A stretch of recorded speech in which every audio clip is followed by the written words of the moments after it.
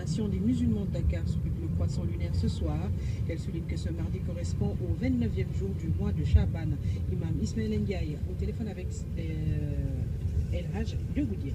Comme nous avons l'habitude de le faire à la fin de chaque mois lunaire, euh, ce n'est pas seulement réservé au mois de Ramadan au mois de la Tabaski, mais c'est pendant les 12 mois euh, lunaires de l'année. Euh, nous allons scruter euh, la lune au soir du, du 29, qui pour nous euh, coïncide à aujourd'hui. Aujourd'hui, pour nous, c'est le, euh, le 29, parce que depuis que nous avons euh, observé la lune pour le, euh, pour le mois de Shaban, notre décompte nous donne aujourd'hui comme étant le 29, et c'est partout comme cela dans, euh, dans plusieurs pays du monde musulman. Aujourd'hui, euh, tous les pays de l'Asie